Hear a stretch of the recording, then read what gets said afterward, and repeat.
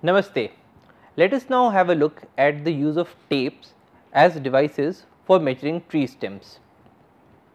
As we know, tapes are instruments that are used for measuring girths of trees, logs or stumps. So, when we say girth, we are talking about the circumference. So, when we are using a tape, we will get a circumference. At the same time, you could also be placing the tape right across an axis to get the diameter. So, diameter can also be measured in the case of cut trees. A tape is usually graduated in centimeters or in inches and one end of it might have a hook or a spike. So, so as to enable you to, to fix your tape at some point on the stump or on the stem. So, if you have a spike here, you could put the spike inside your uh, tree stem and then you can take the tape all around to get the girth. Tapes are made out of a number of materials. So, let us have a look at the types of tapes. We could have tapes made out of cloth. Now, the use uh, the benefits of using a cloth is that it is very good as uh, when we are uh, when we are trying to uh, measure the dimensions. So, good dimension wise. What it means is that if we consider another type of tape say plastic tape. So, a plastic tape can be stretched whereas it is very difficult to stretch a cloth tape. So, when a tape is stretched, so suppose you wanted to measure this length, your tape should have given you this reading, but if in case your tape has become stretched, then you would be getting a reading. So, suppose it goes from 0 to 100 that is your reading. So, here also you have 0 to 100, but, but this reading would now be somewhere close to 70. So, in place of reading 100 you would be reading 70. You could also have reinforced cloth tapes or you could be having metal tapes. Now, the benefit of using reinforced cloth tapes or metallic tapes is that the ends of the tape do not get frayed very easily. So, in the case of a cloth tape you could very easily damage the ends. Once the ends are damaged, so your tape in place of reading from 0 to 100 might read from 0.5 to say 99. But if your uh, tape is reinforced or it is a metallic tape, then you will not be having these errors. But the problem with a metallic tape is that it undergoes thermal expansion and contraction. So, whenever we are using metallic tapes, we need to, to keep the thermal uh, expansion uh, coefficients of the tape in mind. So, how do we use a tape? So, as you can see on this slide, yeah, so here we are seeing a forest guard who is taking measurements along the ground. So, uh, the tape that he has in his hands uh, they are made out of plastic and they can be rolled up inside the box. So, it can be used to take horizontal readings along the ground or it can be used to, to take vertical readings along the tree stem. So, for instance, if we wanted to measure the breast height, when we want to get the girth, so this is how we use it. So, you take your tape all across the stem to get its circumference. That being said, there are some care, cares in the usage of tapes. The first care is that your tape should not be very old because in the case of old tapes they might have undergone stretching. At the same time your tape must lie flat along the surface.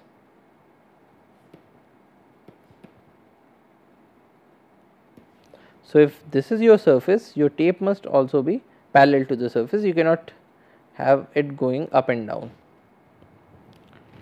The third is that your tape must lie perpendicular to tree axis when you are trying to get the girth of trees. So, what that means is that if this is your tree, your tape this is your tree axis, your tape must go like this. If you had a tape going like this, so the girth would be greater than the original girth which is why it has to be kept uh, perpendicular to the tree axis. Then fourth you must not have any knots or turns in your tape.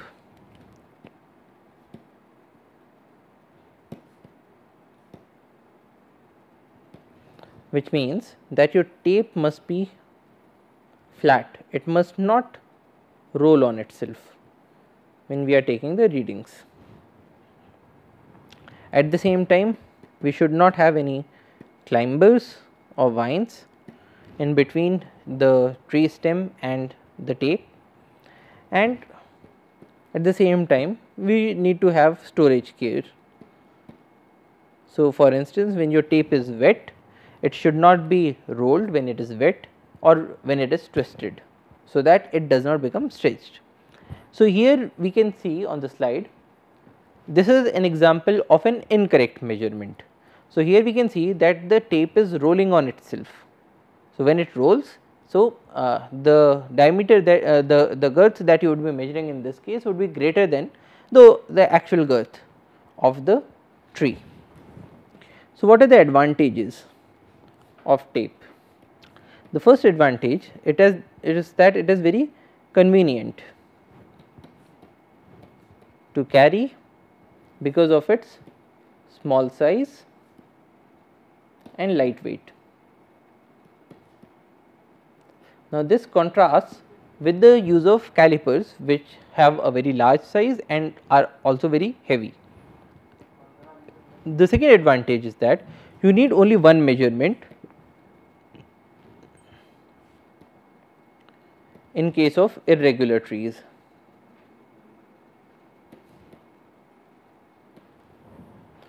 So, what that means is that if you have an elliptical cross section in the case of uh, calipers you would be taking 2 readings, but in the case of a tape you would only be taking one reading. So, that is the reading of the circumference.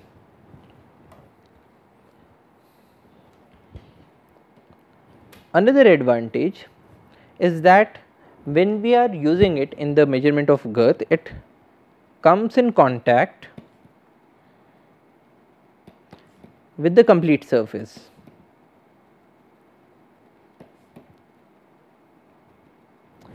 This is uh, as against calipers which uh, come into contact with the trees at only two locations. So, this is a more representative sample. Fourth, the reading is independent of direction.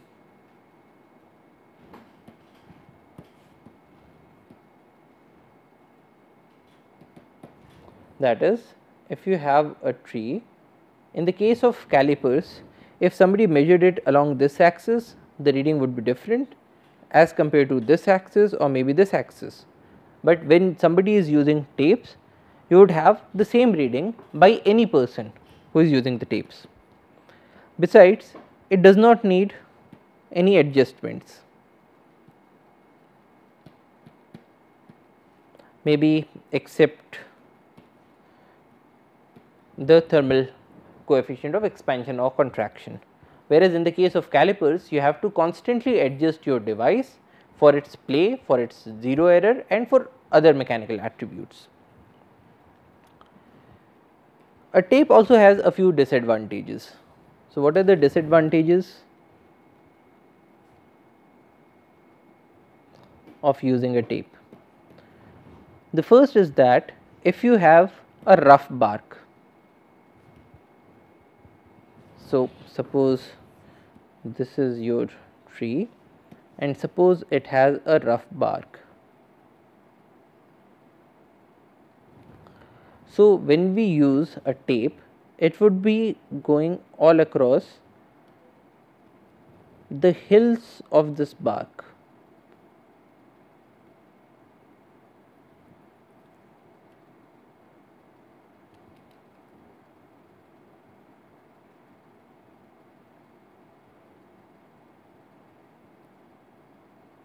So, your tape might go like this. So, in which case not only is it exaggerating over the diameter under bark that we are more interested in because it is measuring outside of the bark, but at the same time because of the rough bark it is exaggerating that value as well.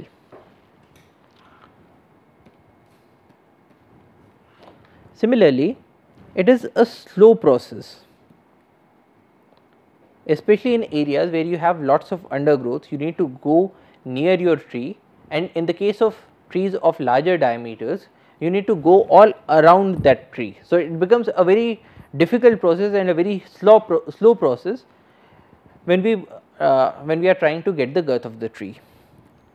The third disadvantage is that your tape might not be at right angles to tree axis. Now, it is very easy in the case of tapes to in place of taking the girth of this circle to take the girth of a circle like this. So, in that case you will be getting an increased reading. The fourth disadvantage concerns its elasticity and stretching. So, if your tape is already stretched in that case it will give you a reduced reading. Now, the fifth disadvantage is that not all points of contact are in view. So, in this case you might have a situation in which there is a vine or a climber or some rough bark or something else that has gone in between your tape and your tree and you will not be able to correct for that because you are unable to take notice of the fact that something has gone in between your tape and the stem. So, let us now uh, take a numerical example. So, as you can see on the slide, it says that for a non-circular cross section, a girth tape overestimates the sectional area. We need to prove that. For a non-circular uh, cross section, so we can assume the cross section to be an ellipse. So, with its half axis as A and B, we need to show that the girth tape overestimates the sectional area. What it means is that when we are trying to get the area of the cross section of the stem, if we take readings from uh, using a tape that is taking its circumference versus the readings that we take from calipers in which case we would directly be getting 2a and 2b.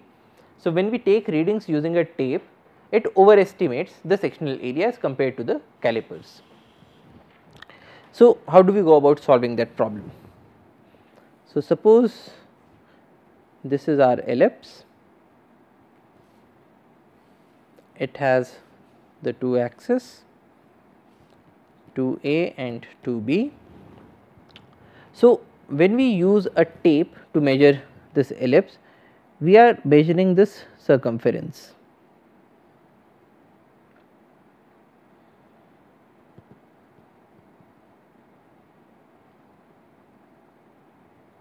So, this is what we measure in the case of a tape. In the case of calipers, we get this reading and we get this reading. So, what is the perimeter or girth? of ellipse.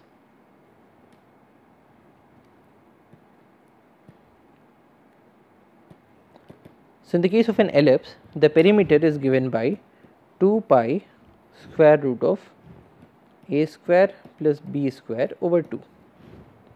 So, that is it is the, the root mean square of the uh, minor axis multiplied by 2 pi. So, it is very similar to our formula of a circle it is 2 pi r.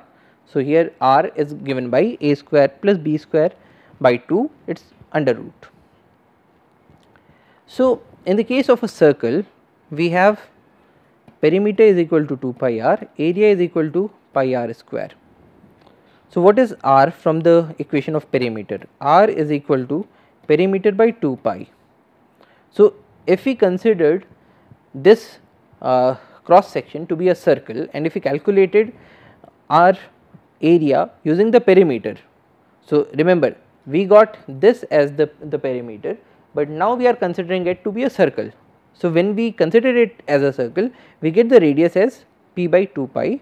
So, what is the area? The area would be pi r square is pi p by 2 pi its square is equal to p square by 4 pi. Now, what is p square by 4 pi? This is our p. So, p square is 4 pi square multiplied by a square plus b square by 2. So, what is p square by 4 pi? We multiply this by uh, we uh, by 1 by 4 pi. So, 4 and 4 get cancelled, pi and pi gets cancelled is equal to pi by 2 a square plus b square. So, this is the area using tape. Now, when we are using calipers,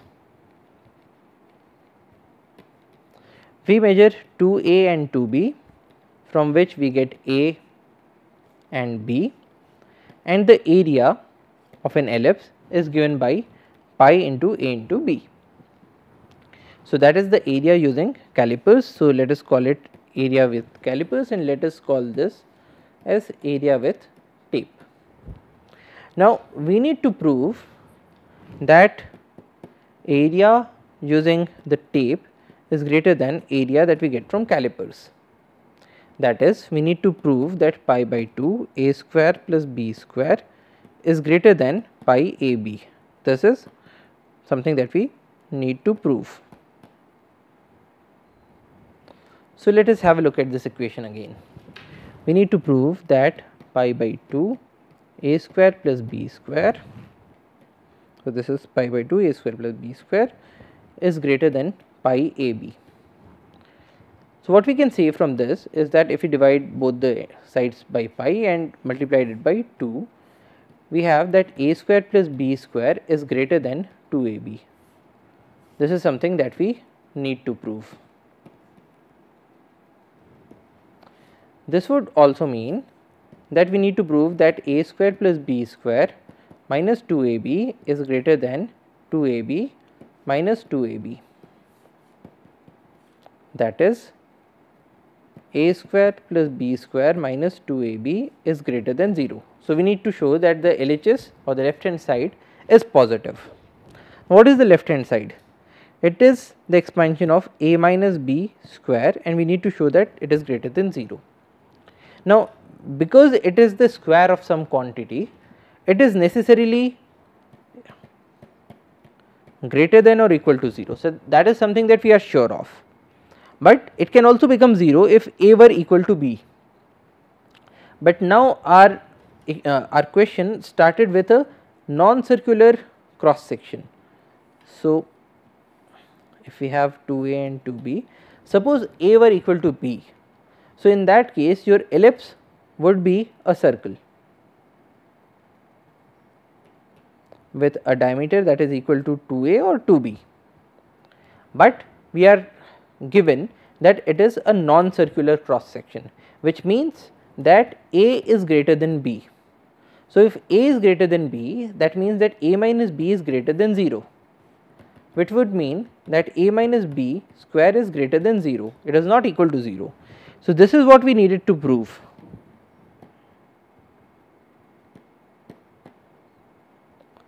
that a minus b square is greater than 0, it is not equal to 0. So, it is not equal to 0 because it is a non-circular cross section. So, this is greater than 0. So, if this is greater than 0, that means that our original equation from which we started that is pi by 2 a square plus b square is greater than pi a b is also true. So, this is also true. This would tell us that our area measured by the tape. So, this is the area measured by the tape is greater than the area that is measured by the calipers. So, the conclusion is something that we need to remember. If we use a tape and we get the, the perimeter of our tree stem and we use that to measure its uh, area and if it is non-circular, if it were circular then whether you used a tape or whether you used calipers, it would be immaterial, both would give you the same results. But if it is anything that is non-circular, then your, your tape measurement of area would overestimate the caliper measurement of area. Now, because in a forest we cannot say that all the trees have perfectly circular cross sections. So, when we are using a tape the area that we will get would be greater than what we would get from the calipers. So, the calipers are a more closure uh, reading of reality as compared to tapes. Thank you for your attention. Jai Hind.